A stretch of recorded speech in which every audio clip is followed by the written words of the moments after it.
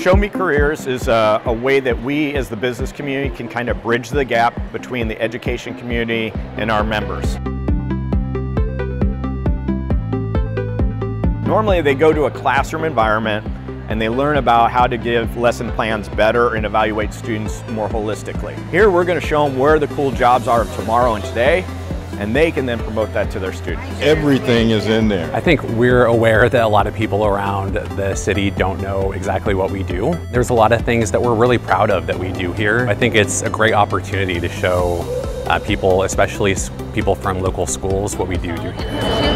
It'll flash on the upper and lower. So what a great opportunity for us to meet the people from the community who are in the education system.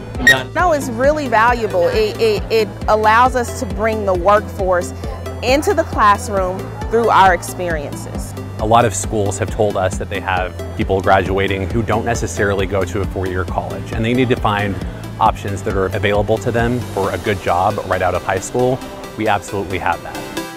I work with a large population of multicultural black and brown students. So it's been really good to see young African American men who are making good livings, involved in law enforcement, and they enjoy their jobs. Hands out, thumbs down. It was very important for me to um, get into the businesses and the companies who are hiring the generation that I'm currently teaching. Ugh, I almost knocked it over. So when I speak with students about the future occupations and the jobs that are going to be high in demand in the future, to know that that is alive right here in our community is now something I can translate for them and I can share with them by referencing specific companies that they should have their eyes on. It's a hidden gem.